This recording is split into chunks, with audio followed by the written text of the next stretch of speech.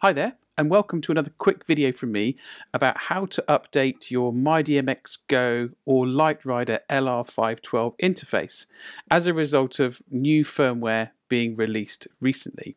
If, like me, you're about to go out and start gigs again, then you're going to want to make sure that your interface and the associated apps are working correctly so that you don't have any issues when you get to your first venue.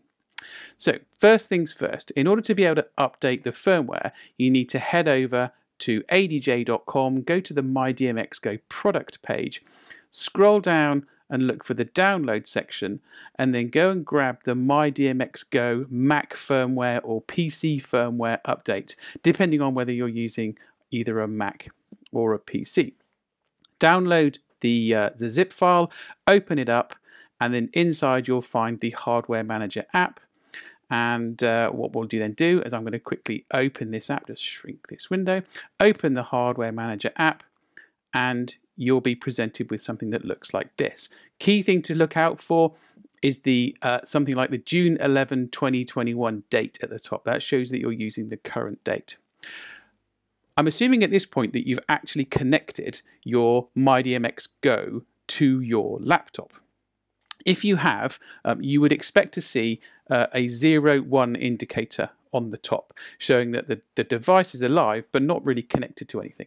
When I start the Hardware Manager app, you'll notice I've got two icons on the left hand side. The first one has a little USB symbol against it and shows that the uh, MyDMX Go is connected directly to my computer via USB. And the second one shows that the app can the hardware manager app can also see uh, MyDMX Go via my local area network. Because when my uh, MyDMX Go starts it automatically connects to my home network as well. But for the purposes of updating firmware we want to make sure that we're going to connect via USB now I'm going to click the icon at the top. I noticed on mine that the that the uh, indicator on the interface itself still says 01 okay? Um, and anybody who's used hardware manager before will notice that a whole bunch of icons that we normally see here are missing uh, and that's because of this red message here that says you must upgrade the firmware. So before I do anything else, I'm going to click the firmware icon and show it will show that my current device firmware is version 0.24, uh, dated around uh, February two, uh, 2020 and the new firmware version is 0.26 uh, with a date of around about March 2021. So this should take a few seconds. I'm going to click the firmware update. I'm going to watch what happens on the device and it really should just take a matter of a few seconds. It's gone into bootloader, updating the firmware. The device itself went blank.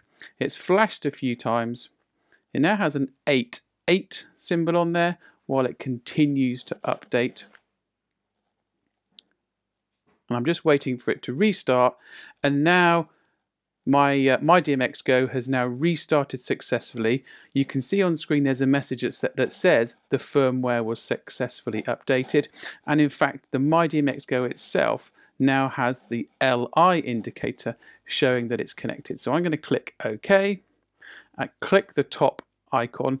So this is happening real time. Uh, it looks rather like my has uh, not connected to my home network anymore. I'm not too worried about that at the moment, uh, but what I am interested to see is that all of the icons that I was previously used to seeing are all now back.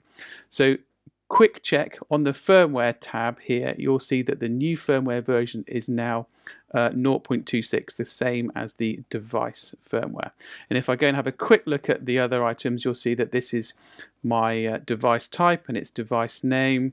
If I quickly scroll down and look at the uh, uh SUT, you should see that we've got the LightRider Full Mode iOS for Life and LightRider Full Mode Android for Life. Those are the two licenses that are key to using both the MyDMX Go and the LightRider apps on your iPad or Android tablets. Last thing I'm going to check is just Wi-Fi to see what's happening down here. So this should show me my Wi-Fi network. Um, in fact, yeah, it does uh, indicate that my uh, my DMX Go is connected to my Mos Eisley Cantina home network. Um, you can see that it's connected because it has the forget button. Um, mine is also uh, set in Wi-Fi mode as dual, which means that if it cannot connect to this network, then it will attempt to start up its own Wi-Fi network. Um, and uh, for the purpose of this video, I've just changed the password to password. I would strongly recommend that you do not do that, that you set your password to something far more secure. But anyway, so I'm going to now uh, quickly disconnect my uh, my DMX Go, uh, the hardware, so that it will literally power off and on again. And hopefully, uh, if I then uh, restart uh, hardware manager, I'm going to quit and then restart it again. We should see that the device will connect to both uh, hardware manager via both USB and my network. So that's looking pretty cool.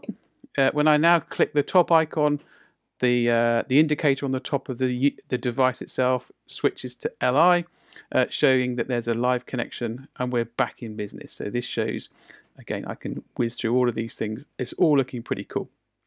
Now, I am aware that there are some people that do have some issues with updating their device. Um, I'm also I'm very conscious that mine went very smoothly, um, and I've never really had any issues with doing that. Um, I'm using um, a fairly standard MacBook Pro, like a 2014 MacBook Pro, um, uh, and a regular USB-C cable uh, to connect the interface to my computer. Uh, and uh, if you're having any issues with uh, later models, particularly M1 MacBooks, I, I have heard of some people uh, struggling with those.